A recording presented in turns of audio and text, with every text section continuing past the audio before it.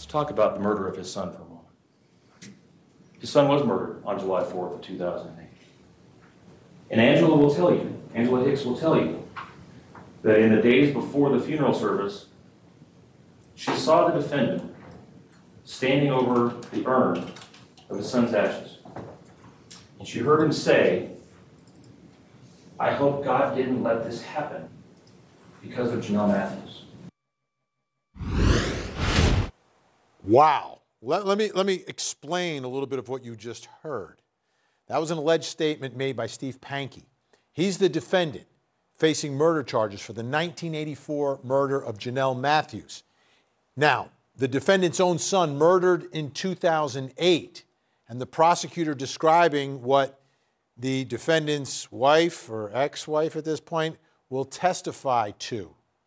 That he is standing over the urn of his murdered son saying, I hope God didn't do this because of Jonelle Matthews.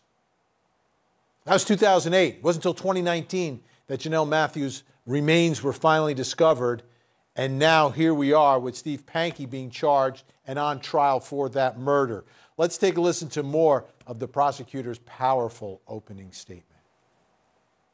On October 5th of 2019, in an unsolicited message to television reporters in Boise, Idaho, the defendant for the first time commented upon the ethnicity of Jonelle.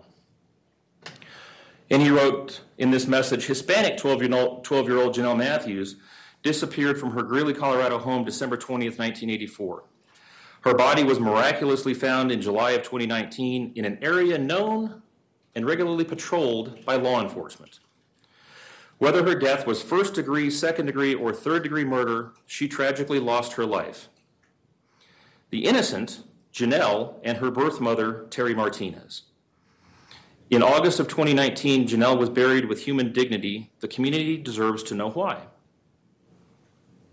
And then in the same message, he goes on to identify the people that he believes are persons of interest that should be looked at in Jonelle's disappearance. Russ Ross, Mayor John Gates, Greeley Police Chief Mark Jones, and the defendant. He named himself as a person of interest. Are you kidding me? This is unreal. Unreal. Let's bring back in the think tank. Have you ever seen anything like this? A piece of evidence, Kirk Nurmi, where the defendant names himself as a person of interest? Well, I guess, you know, it reminds me a little bit, Vinny, and, and uh, of the happy face killer, right? He wanted to make sure that he got credit for this. Now, this guy is either of that ilk or just completely crazy because it, we keep in mind he listed what the mayor, the police chief, et cetera, et cetera. We're not giving any credence to those assertions, but we're giving credence to the assertions that he made against himself. So, to me, that makes this case not on the st- firm ground that it seems to be portrayed to be by the state. Yes, he said a lot of things, but again, this is a guy who said a lot of crazy things, and by his own defense attorney's admission, this guy says crazy things and does crazy stuff. So I don't think the case is as open and shut as it might be being portrayed so far.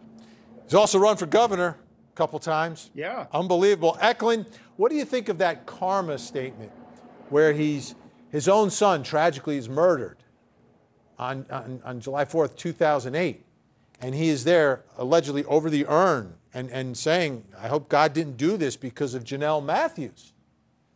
Yeah, I think he went full narcissist to think about yourself like standing over your son's urn. Um, he just he is diabolical, hence why he probably ran for governor. Um, he is not well. Uh, he has a problem, and like just the amount of evidence and how succinct it is is is just mind blowing. He he went full narcissist. Nima, uh, would you consider those two statements confessions? I would, Vinny, but let's talk about this case and how eerily it is similar to a recent case 40 year old cold case murder. Really bad admissions from an older white male criminal defendant. The defense, in their opening statement, saying that this is Asperger's, this is someone who acts and says strange things. eerily similar to Bob Durst. Um, but what they have in this case that they didn't have with Durst is Norris Black, who lived across the street. So they have another suspect. But gotta agree with Kirk on this one. It's a much tougher case than I think the prosecution is making it out to be. These cold cases always are. Yeah, by the way, uh, Bob Durst, tomorrow, uh, Judgment Day, sentencing day for him. Um, let's take a listen now to the defense. What's the response to all of this in, in the opening statement? Take a listen. Mr. Pankey has never hidden his interest in the Jonelle Matthews case. Um, he uh,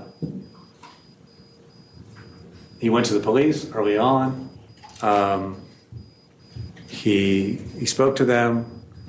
He he loves these true crimes cases. Um, you know, people really like this stuff. You know, and um, you know that's it's a it's a legitimate sort of hobby, if you will. Um, and and this is what he likes. This is what he likes. Um, and so this happened in, in his town. Um, you know, at a time when he lived there, and and it was interesting to him.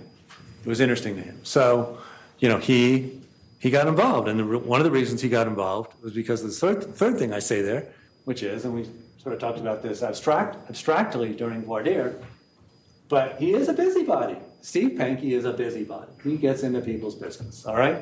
And again, I'm not here to say that that's a great quality, and I think we kind of all agreed during voir that it's probably not, but that's who he is. He gets, he gets in the middle of things. Um, and when it comes to these, these true crime situations, he's particularly interested and he gets particularly involved. So, and why does he do that? Well, you're going to hear that he does have a condition called Asperger's syndrome, in which, you know, his mind doesn't process information uh, exactly the same way that you know, sort of a conventional brain would do so, and it, and he processes information a little differently, and that causes him to get in the middle of these of these cases. All right, I love true crime, crime fans, by the way. Hundreds of thousands of them, right? Uh, you know, on, on, on social media and watching every night here. Um, but, but Nima, could someone be that obsessed with true crime and, and, and because of this condition that he has involving Asperger's, somehow put himself in the middle of something that he has nothing to do with? Is that even possible?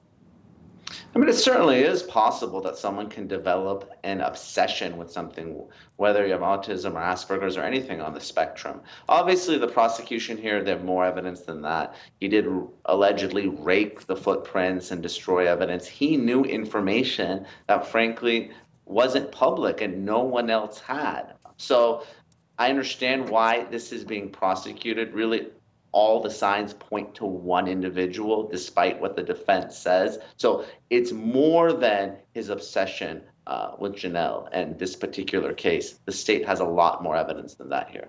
All right, the trial continues, folks. This is an interesting one. It's a cold case. Has it been solved, or did this guy just put himself in the middle of it? Uh, the jury will ultimately let us know.